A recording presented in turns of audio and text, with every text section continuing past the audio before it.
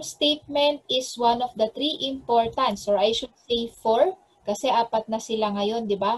Number one, you have your balance sheet. Balikan lang natin, BS. Number two, itong income statement mo. Number three, yung changes in equity. And then number four, yung cash flow. Siyempre, panglima mo yung notes. Okay? So instead of three, i-correct natin to. Dapat it is one of the four important financial statements that is used by the company in reporting the performance of a specific company on a specific accounting period. Now, if you try to notice, um, binigay na sa atin kahit papano yung iba sa mga process or iba sa mga steps na dapat muna natin gawin when you start income statement or when you start doing, I should say, your income statement.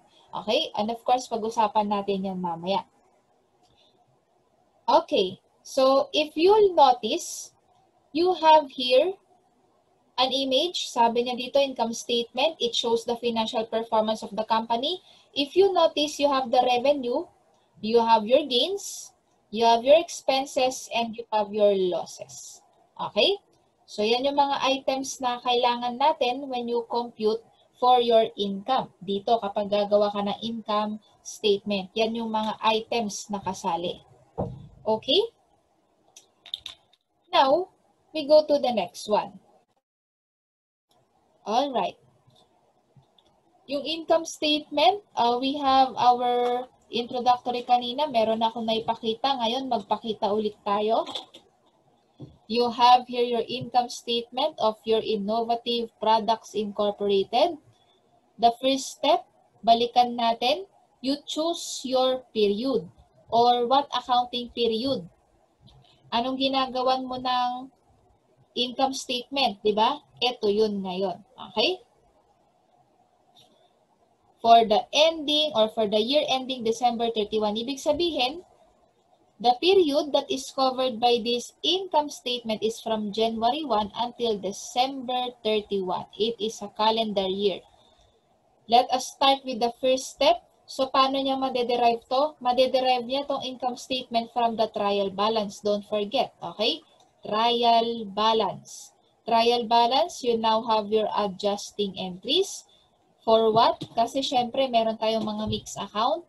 You have to disaggregate. What else? You have your accrual, deferral, prepayments, and those are subject to adjusting entries para makita mo alin yung tamang balance. Now you get your adjusted balances.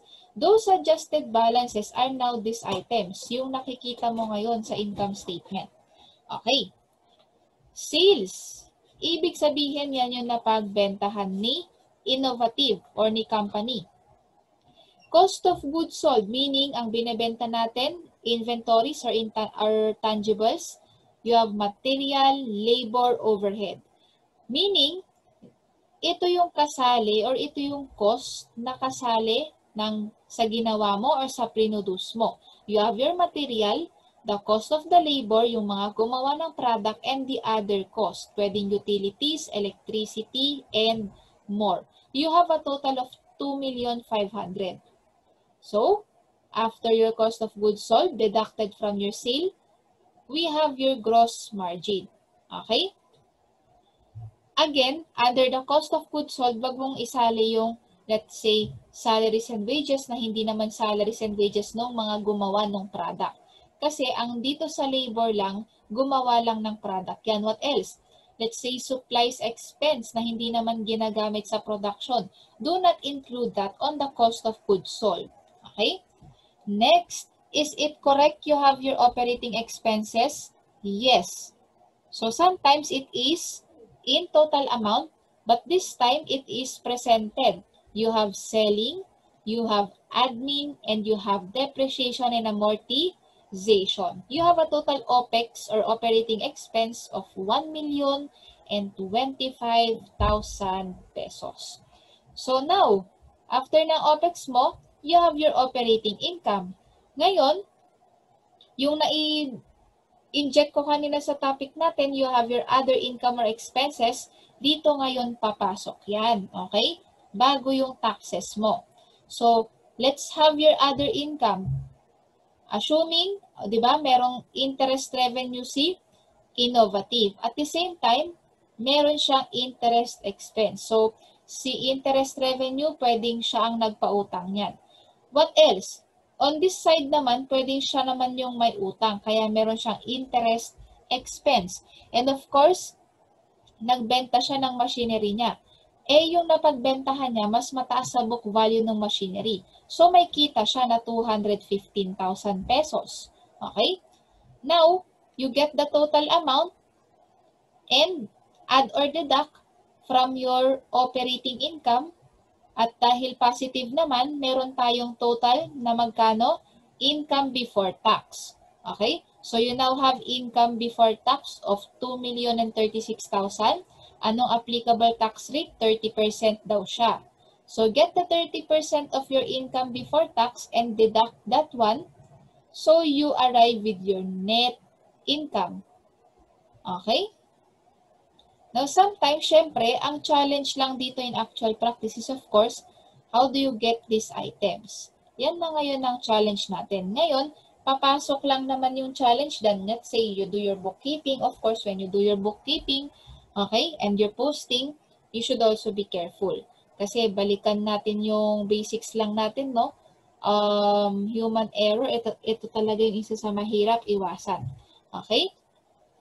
Kasi tsaka kasi kapag trial balance pa lang, malalaman mo na rin naman kung may mali ka na, di ba? Unless balance yan, tapos may mali pa rin. So, hindi talaga makita ni trial balance mo yung mali mo. So, assuming okay naman ang process natin from the bookkeeping or from the journalizing to posting until the trial balance and adjusting entries, we are good with your income statement. Okay? So, ganito yung income statement mo. Now, of course, it's not only limited to this item. Pwede rin naman na let us say on your OPEX, meron ka pang salaries and wages. You have your other supplies expense. Of course, that depends on the company. Okay? That you are holding or pwedeng yung company na ginagawan mo ng income statement. Now, uh, let's just tackle a bit of importance or the importance of your income statement. So you have the 10 um, processes or the procedure. Punta ngayon tayo sa purpose of your income statement.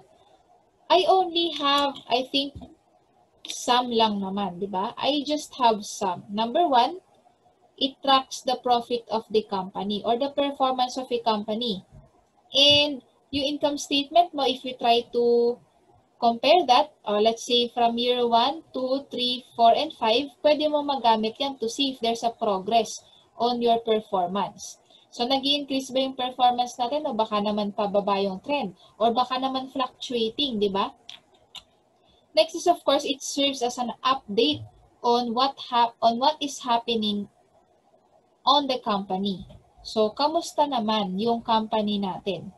So, that's also an update. Next, you are using this as your evaluation tool, specifically if you wanted to know your profitability. Kasi nakakatulong to, or this is also one of the items that are taken into consideration by our, let's say, investor or your creditor. They are looking at your profitability. Of course, investor would not invest in a company or in a business that is not profitable. Papayag ba naman siya, ilalagay niya yung 100,000 niya na ang babalik 100,000 lang din? Of course not. Okay?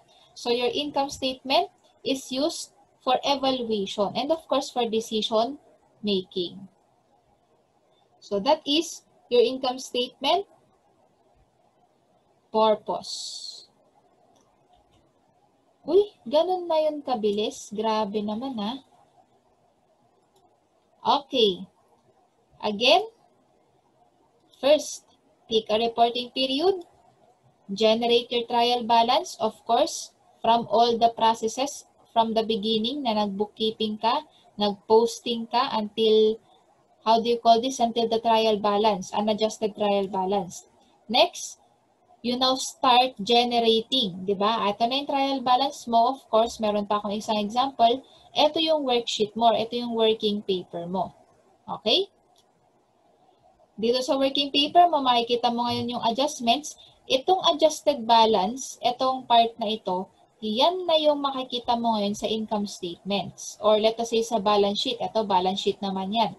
Ito na ngayon yung makikita mo sa balance sheet. Now, bago ka gumagawa kasi ng income statement and balance sheet, di ba? I-check mo muna ito, oh. Ayan, no? I-check mo yan. Dapat balance yan. Okay? So, dapat balance eh. That's why we have your working paper. Next, number three, your review. Calculate your revenue. Identify all, of course, from the ordinary course of business only. Next, the cost of goods sold or the cost of services.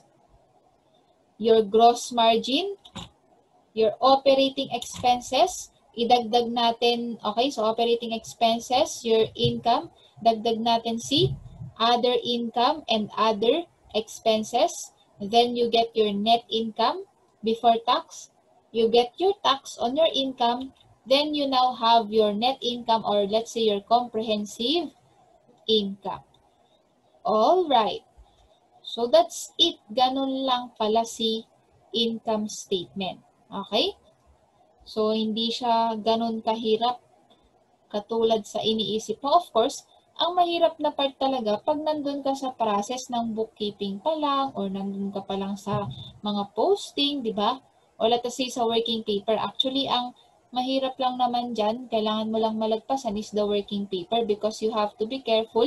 Ano yung mga nangangailangan ng adjustment, di ba? You have to split your mix account because you have to identify which among the split uh, the mix account alin doon yung part na uh, a real account and your nominal. Kasi yung nominal, kailangan isali mo siya sa income statement mo. Don't forget those items. Okay?